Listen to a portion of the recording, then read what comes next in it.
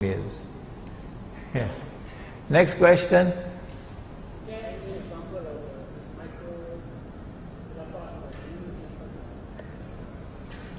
Are there any examples of the micro Muslim villages? There are lots of villages in the Muslim world. There are lots of kampung in Malaysia. If you don't believe me, wait for Hari Raya and try to drive on the road. Huh? You get the evidence.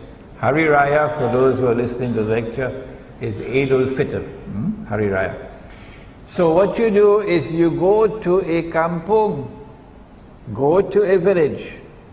Don't try to create a new village. No.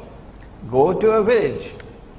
And in that village strive and struggle to establish Islam. When the Khilafah was abolished in Istanbul, there was an outstanding Islamic scholar in Turkey.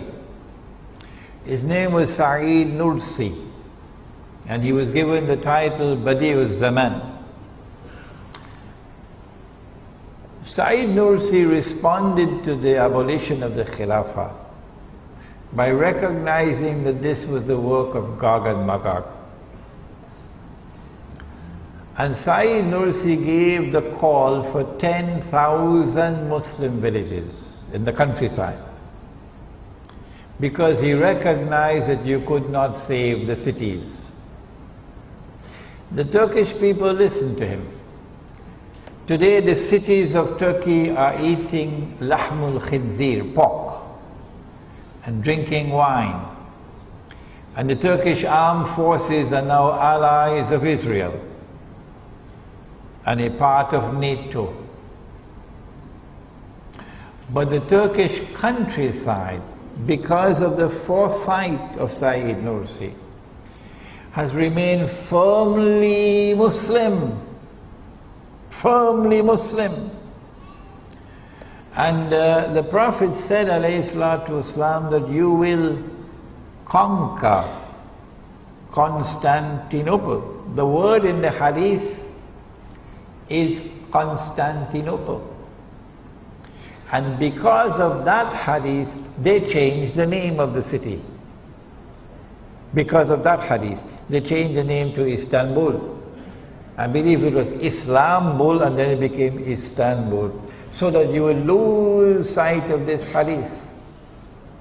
But Muhammad والسلام, referred to that city as Constantinople. And I don't see why I should not do the same.